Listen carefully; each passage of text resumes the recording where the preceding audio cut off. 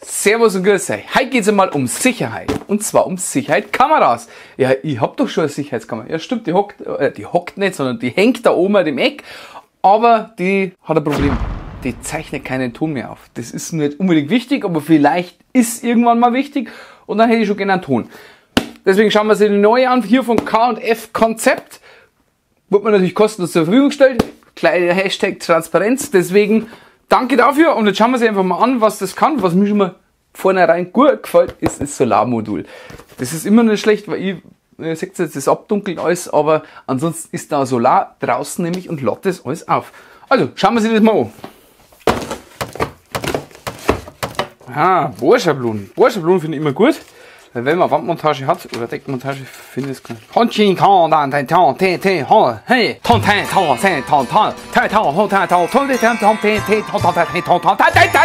Tai ja, so ungefähr. Keine Ahnung, ich kann kein Chinesisch, Japanisch, ich weiß nicht, was ich vermute Chinesisch. Also, äh, ah, okay, ich muss zurück. Da ist auch deutsche Anleitung. Also, Brain einschalten und dann geht das auch. Ja, schauen wir mal rein. Dann müssen wir sich irgendeine App downloaden. Okay, holen wir sie dann. So, jetzt schauen wir mal. Ah, Wahnsinn, was denn das für fette Anleitung? Ah, da wird dann nochmal genau erklärt. Aber hier gleich. Ah, schön. Schöne Anleitung. Solar, USB. Geh aus da! Haben wir denn da? Verschiedene Häute und Kabeln und Müll. So, jetzt. Alles soll mal auspacken. Also für die, wo es schrauben wollen, ein Haufen Schrauben dabei. So. Wenn man jetzt zusammenbaut, dann kann man nicht das verrasten und dann kann man hier, äh, zack, zack, zack, zack, zack, das einstellen. Dann ist das gesperrt. Ah, nicht schlecht. Dann einmal Kabel und dann einmal die Kamera an sich. Boah, ist das ein Riesenteil. Boah, ist das ein Riesenteil. Wie geht die Uni? Ach so, so geht die Uni, die kann dann so drehen. Okay, da bin ich jetzt gespannt. Dann schalten wir mal ein und schauen, ob die einen Akku hat überhaupt.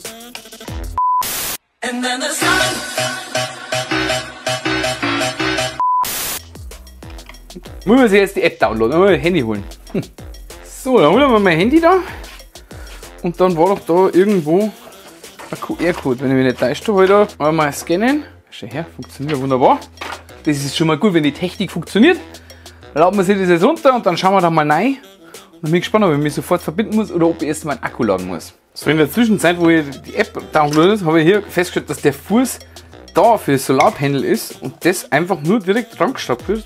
Ja, praktisch. Einfach ranschlagen, zack, boom, bang. Wahrscheinlich so und die Antenne geht dann nach oben. So es wahrscheinlich dann, weil so schaut es auf dem Büttel aus. Also vermute ich mal das. So, und jetzt müssen wir da einschalten. Jetzt, jetzt leicht was. Was sagt denn die Anleitung? Die Anleitung sagt... Nobody reads the manual! Gerät hinzufügen.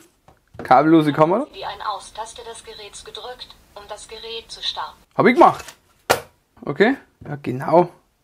Setzen Sie das Gerät zurück, indem Sie die Reset-Taste 5 Sekunden lang gedrückt halten. Eine Ewigkeit später. Warten Sie, bis die Kontrollleuchte rot blinkt. Wo ist die Reset-Taste? Ist ja wurscht, wir sagen, das passt. Ne, ne, ne, ne, ne, ne, ne. Wählen Sie das Wi-Fi-Netzwerk aus. Passt. Bitte entfernen Sie den Schutzfilm von Ihrem Kameraobjektiv. Tippen Sie auf Weiter, um Ihren QR-Code anzuzeigen. Wo ist mein QR-Code jetzt? Ah, okay. Hallo? Hm. Warum geht jetzt das nicht, hä? Muss ich das wirklich resetten lassen, was? Dag, nabbit, nobody ever reads the manuals! Sakra. Muss doch funktionieren. Ah, jetzt ist resettet. Vielleicht geht's jetzt.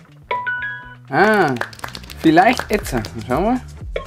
Kann dort das schon gewesen sein. Bitte warten einen Moment.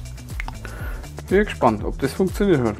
Er hat sich nämlich gerade beschwert, dass mein WLAN-Passwort zu lang ist. Also, sowas soll vorkommen. Zu lange WLAN-Passworte. Also werde ich vielleicht nochmal umstellen müssen, ein anderes Passwort. Und dann geht's. Also, sobald das mit dem Scan-Vorgang hat, machen wir weiter. Jetzt blinkt's. Okay. Stranger Things hier.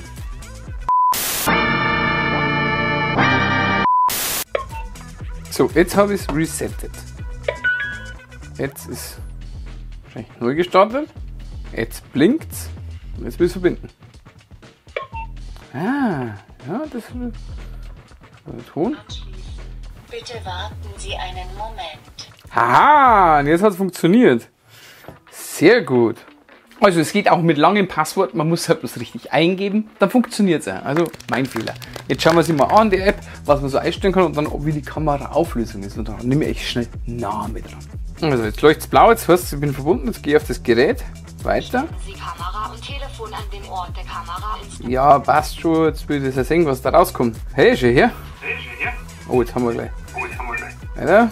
Tipps zur Installation, ja, haben wir erledigt. Passt. Schau her, jetzt kann man da bestimmt Wohnzimmer. Oh ja, kannst du haben, kann ich das nicht weiter äh, be- benennen? Hinterhof, Tür, Schlafzimmer. Nehmen wir Hinterhof. Erledigt. Äh, nein, nicht jetzt speichern. So, weiter. Okay, einstellen, ja.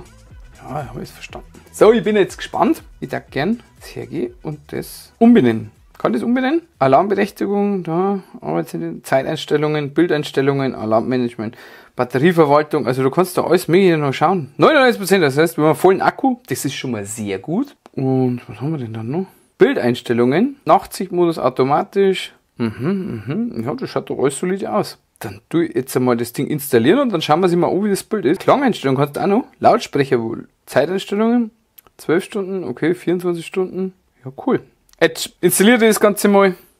Hauen wir also das Teil da oben in die Ecken und dann schauen wir mal, wie das Bild ist. Dann machen wir mal das Licht aus, damit wir sehen, wie die Nachtsicht ist. Und dann wirkt man sagen, mehr gibt's eigentlich nicht. Das ist so ein cooles System. Die App ist selbst erklären. Bin noch nur gespannt, ob es noch irgendwelche Überraschungen gibt, aber das sehe ich dann und erzähle ich euch dann, wenn es installiert ist.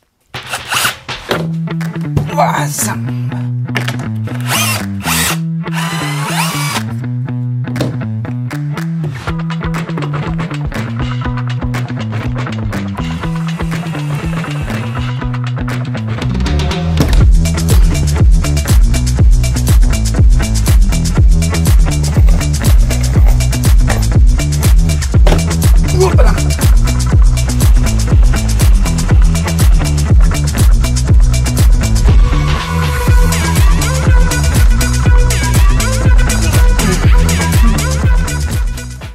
Schon ist um. Man hätte bloß kleiner langer Bitten nehmen sollen.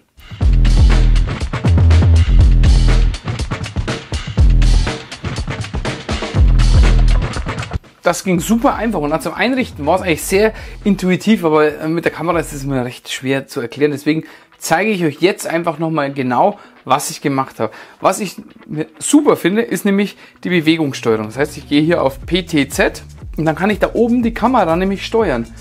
Dann kann ich die hier rumfahren lassen. Kann natürlich dann auch, wenn ich Fan-up bin und eine Halle habe oder so, dann könnte ich da rumfahren und schauen, oh, ist Fenster zu oder kommt da jemand rein, was ist, was ist da los?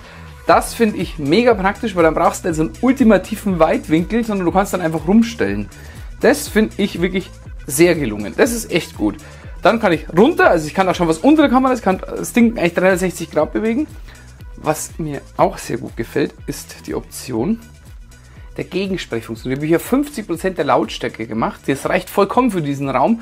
Aber man könnte 100, das ist echt laut. Also man könnte auch eine Halle beschreien. Ich mache es mal jetzt hier kurz, dass ihr das hört. Hallo? Hallo? Hallo? Jetzt muss ich das ausmachen wegen dem Echo. Also das ist was, da war ich echt überrascht. Das ist echt laut. Und dann kann man Alarm und Sirene und was weiß ich was noch alles machen. Jetzt machen wir nur kurz Nachtsicht, damit ihr das noch seht. Äh, machen wir das Licht aus hier. Mega. Ah, schön, ja. Der Leberkas in schwarz-weiß. Das gefällt mir. Ja, da könnt ihr mal gucken. Sehr cool.